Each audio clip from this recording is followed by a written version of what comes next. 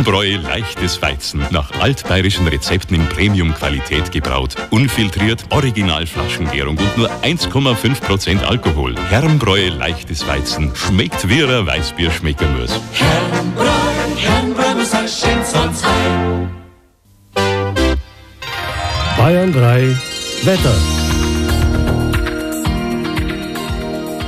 Das Wetter um eine Minute vor elf. Wir schauen zunächst einmal dort, wo die Rekorde gebrochen werden und purzeln, denn der Monat Mai war in Süd- und Mittelengland der wärmste seit 150 Jahren. Nach der meteorologischen Statistik betrug die Durchschnittstemperatur 16,5 Grad. Da können wir ja bloß lachen. Gleichzeitig war der Wonnemonat dort einer der sonnigsten und trockensten überhaupt. Erst in den letzten Tagen haben Gewitter und schwere Regenschauer die lange Sonnenperiode unterbrochen. Die Hitzeaufläufer reichen teilweise bis Schottland, wo Mitte des Monats in Edinburgh 30 Grad im Schatten gemessen wurden.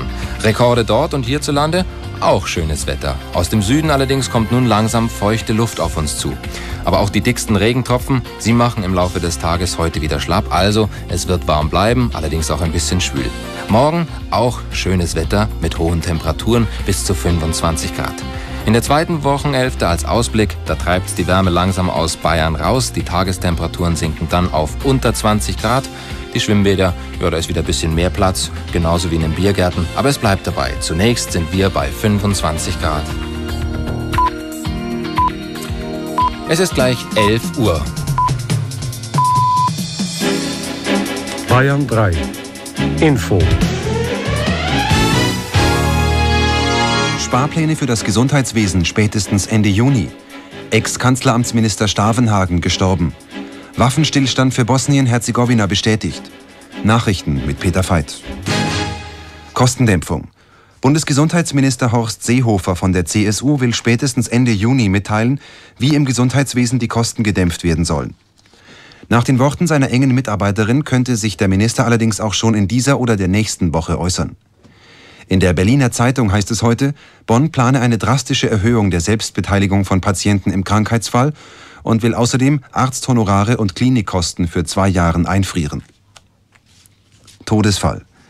Der CDU-Politiker Lutz Stavenhagen ist in der vergangenen Nacht gestorben. Der 52-Jährige erlag den Folgen einer Lungenentzündung. Stavenhagen war bis Dezember 91 Staatsminister im Kanzleramt und damit auch der Koordinator für die Geheimdienste. Nach dem Bekanntwerden mehrerer Skandale, unter anderem im Bundesnachrichtendienst, gab er sein Amt auf. Waffenstillstand. In Bosnien-Herzegowina soll heute Abend um 18 Uhr ein Waffenstillstand in Kraft treten. Dem Innenministerium in Sarajevo zufolge haben Moslems, Serben und Kroaten der Vereinbarung zugestimmt. Es handelt sich um die siebte Feuerpause seit Ausbruch des Bürgerkriegs. Die bisherigen Abkommen hielten meist nur wenige Stunden. UN-Sanktionen. Die am Wochenende von den Vereinten Nationen verhängten Sanktionen gegen Serbien und Montenegro beginnen zu wirken. In den beiden Republiken, die das sogenannte Restjugoslawien bilden, ist seit heute das Benzin rationiert. An den Tankstellen gibt es lediglich 12 Liter Treibstoff pro Auto. Ausländer dürfen nur noch dann tanken, wenn sie mit Devisen bezahlen.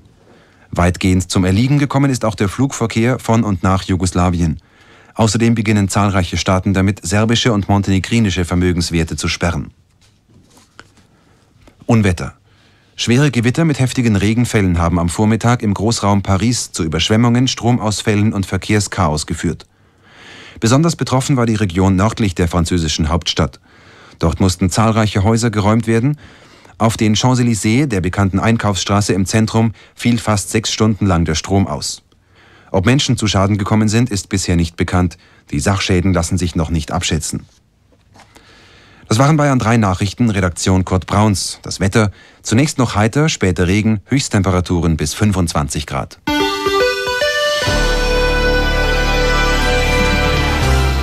Bayern 3 meldet Autobahn Deggendorf-München A92 und die Nordumfahrung München A99 und A92 vor Oberschleißheim Stauungen jeweils auf den Abbiegespuren in Richtung Stuttgart.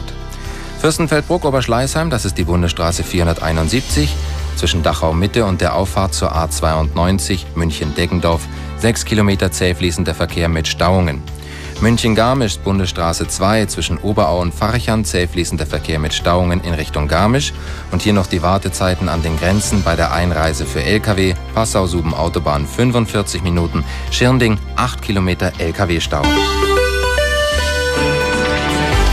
Bayern 3 Bayern 3 am Vormittag. Mit Christoph Däumling.